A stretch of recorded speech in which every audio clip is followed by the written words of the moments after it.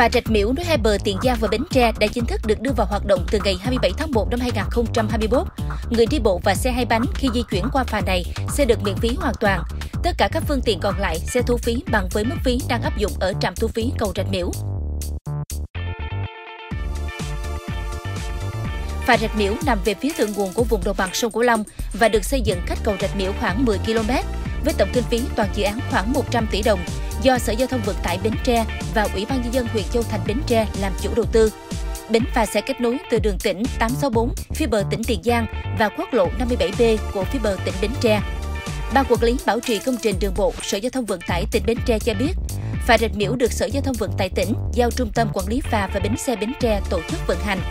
Việc đầu tư và đưa bến phà Rạch Miễu đi vào hoạt động sẽ hỗ trợ giải quyết ủng tắc giao thông cầu Rạch Miễu và phà, phục vụ cho tất cả các phương tiện có tải trọng dưới 30 tấn. Tổng cục Đường bộ Việt Nam đã có quyết định điều chuyển ba phà đang hoạt động ở bến phà Tân Phú về phà Rạch Miễu.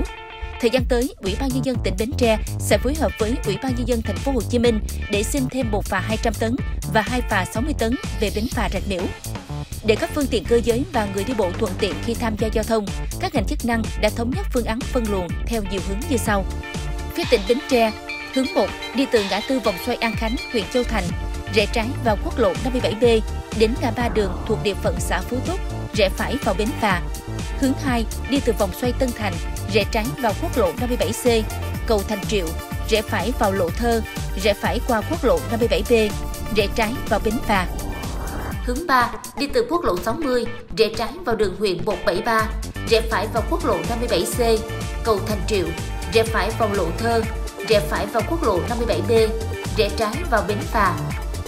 Phía tỉnh Tiền Giang, hướng 1 đi từ quốc lộ 1, ngã ba Đông Hòa, rẽ vào đường tỉnh 876, đến ngã tư giao nhau với đường tỉnh 864, ngã tư Tây Hòa, đi thẳng vào bến phà và ngược lại. Hướng 2 đi từ quốc lộ 1, ngã tư Đồng Tâm, rẽ vào đường tỉnh 870, rẽ phải vào đường tỉnh 864, đến ngã tư giao nhau với đường tỉnh 876, rẽ trái vào bến phà. Hướng 3 đi từ quốc lộ 60 Trung Lương, rẽ phải vào đường Nguyễn Công Bình, rẽ trái vào đường tỉnh 870B, rẽ phải vào đường tỉnh 864, đến ngã tư giao nhau với đường tỉnh 876, ngã tư Tây Hòa, rẽ trái vào bến phà. Hướng 4 đi từ quốc lộ 60, rẽ phải vào đường tỉnh 864, đến ngã tư giao nhau với đường tỉnh 876, ngã tư Tây Hòa, rẽ trái vào bến phà.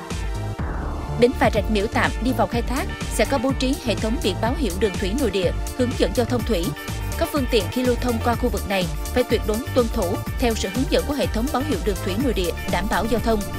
Bến phà Rạch Miễu đi vào khai thác trước Tết Nguyên đán Tân Sửu 2021 nhằm giảm tải cho cầu Rạch Miễu thường xuyên bị kẹt xe trong các ngày lễ Tết cuối tuần. Trong thời gian chờ xây cầu Rạch Miễu 2, đến phà Rạch Miễu tạm sẽ hoạt động xuyên suốt trong 5 năm tới. Được biết, Thủ tướng phê duyệt chủ trương xây dựng cầu Rạch Miễu 2 với tổng kinh phí 5.175 tỷ đồng. Dự kiến công trình sẽ được khởi công vào năm 2021, hoàn thành vào năm 2025.